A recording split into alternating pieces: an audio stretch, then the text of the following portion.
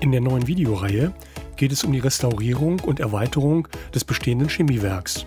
Den Bau des bereits vorhandenen Teils hatte ich in vier Videos dokumentiert, wobei die ersten drei noch ohne gesprochenen Text waren. In diesem ersten Teil geht es jetzt um die Vorbildanalyse und mögliche Modelle. Viel Spaß! Eigene Fotos von Chemieanlagen zu machen, ist nicht so leicht, da auf den Geländen üblicherweise Fotografierverbot besteht. Zufällig ist vor wenigen Wochen eine SWR-Doku auf dem YouTube-Kanal veröffentlicht worden. Zu sehen sind die riesigen Anlagen der BASF in Ludwigshafen. Zu Beginn und am Ende zeigt das Video das riesige Lichtermeer der bei Nacht beleuchteten Chemieanlagen. Auch der Logistikbereich mit unzähligen Bahngleisen ist sehr beeindruckend. Am Ende des letzten Videos zum Nachbau des Bahnhofs Pulheim hatte ich bereits erwähnt, dass es nur 15 Minuten zum nahegelegenen Chemiepark in Dormagen sind. Also liegt es nahe, sich diesen als Vorbild anzuschauen.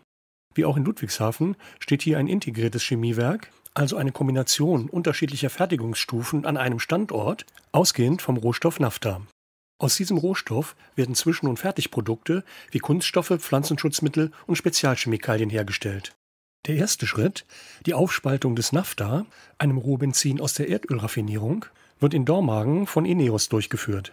Dies erfolgt in Steamcrackern, wo zunächst Olefine hergestellt werden. Hier zu sehen sind Screenshots aus Videos der Firma Ineos auf YouTube. Auch in Dormagen nimmt die Logistik einen großen Raum ein. Neben einer Tochter des Chemieparkbetreibers Currenta betreibt auch die Firma Heuer ein großes Logistikzentrum.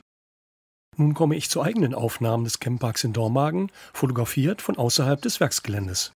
Am südlichen Ende des Chemieparks befindet sich am Rhein gelegen Tor 9 mit dem Blick auf die Anlagen von Ineos. Das Thema Steamcracker mit den dazugehörigen Anlagen wie Gastanks, Hochfackeln und Kühler möchte ich versuchen nachzubilden. Wie auch in Ludwigshafen erfolgt die Anlieferung des Naftas per Schiff über den Rhein. Für einen Fluss ist aber auf meiner Anlage leider kein Platz mehr. Aber was wäre eine Modellbahn ohne Schienenverkehr? Eine perfekt passende Chemion-Diesellok der Baureihe MAC G800BB soll es in Kürze von Jägerndorfer geben. Insofern war die Vorbestellung ein Muss. Hier eine MAG 1206 bei der Arbeit. Abstellgleise für Kesselwagen werden bei mir nur in kleinem Umfang möglich sein.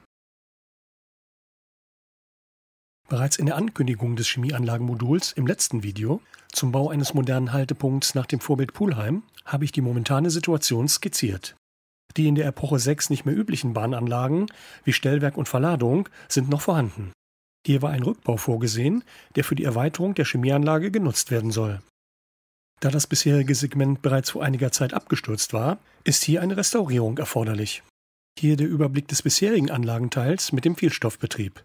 Neben der Anlage sind einige Hochtanks, ein Tanklager, ein Imbiss sowie eine Pforte vorhanden. Der nun zusätzliche Bereich ist ein rechtwinkliges Dreieck mit einer Kantenlänge von ca. 40 cm. Aus dem Bahnhof Bullheim heraus besteht bereits ein Gleisanschluss. Analog zum südlichen Teil des Chemieparks in Dormagen soll hier ein Steamcracker mit den dazugehörigen Aggregaten entstehen.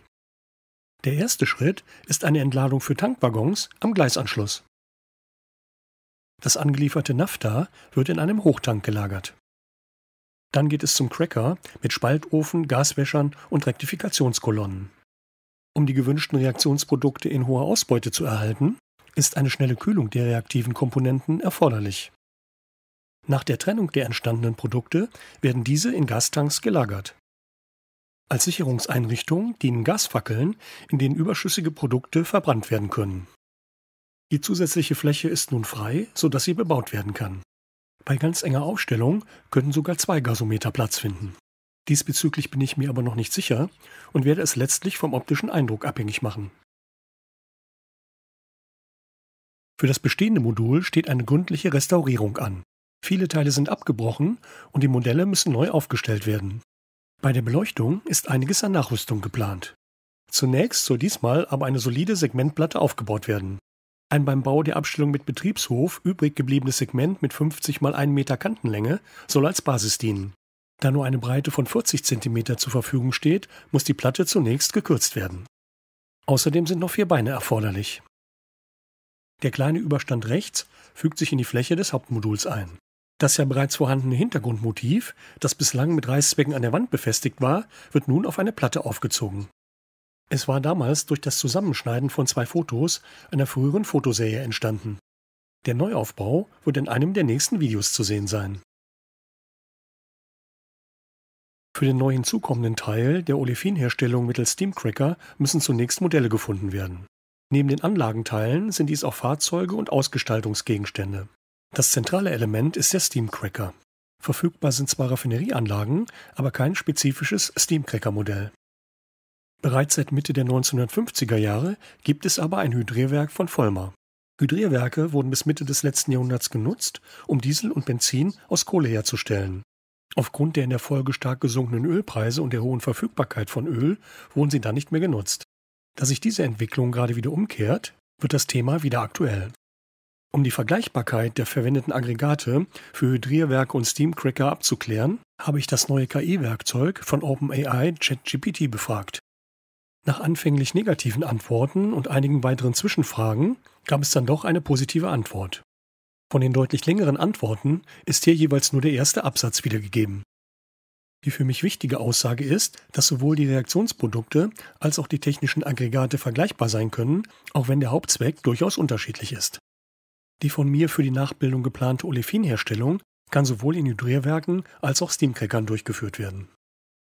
Um den Cracker betreiben zu können, sind einige weitere Aggregate erforderlich. Das aus Tankwaggons entladene Nafta wird zunächst in einem Hochtank gelagert. Hierzu gibt es ein passendes Modell von Auhagen. Um die bei den hohen Temperaturen des Spaltofens reaktiven Olefine isolieren zu können, ist eine gute Kühlung erforderlich. Einen Lasercut-Bausatz hierzu gibt es von Joswood. Die Produkte werden nach der Trennung in Gasometern gelagert. Das Modell dazu hat Vollmer im Angebot. Für den Notfall wird zur Verbrennung überschüssiger Reaktionsprodukte eine Hochfackel verwendet. Joswood hat hierzu verschiedene Lasercut-Bausätze im Sortiment. Zur Verbindung der einzelnen Anlagenteile sind Rohrleitungen erforderlich. Faller bietet ein Rohrleitungsset an, von dem ich gleich mehrere Exemplare beschafft habe. Rohrbrücken in verschiedener Ausführung nutze ich von Joswood. Im nächsten Video beginne ich dann mit der Grundplatte für die Erweiterung. Die Abgrenzung zur Bahnstrecke erfolgt mit einer Lärmschutzwand. Dann beginnt der Aufbau der Anlage.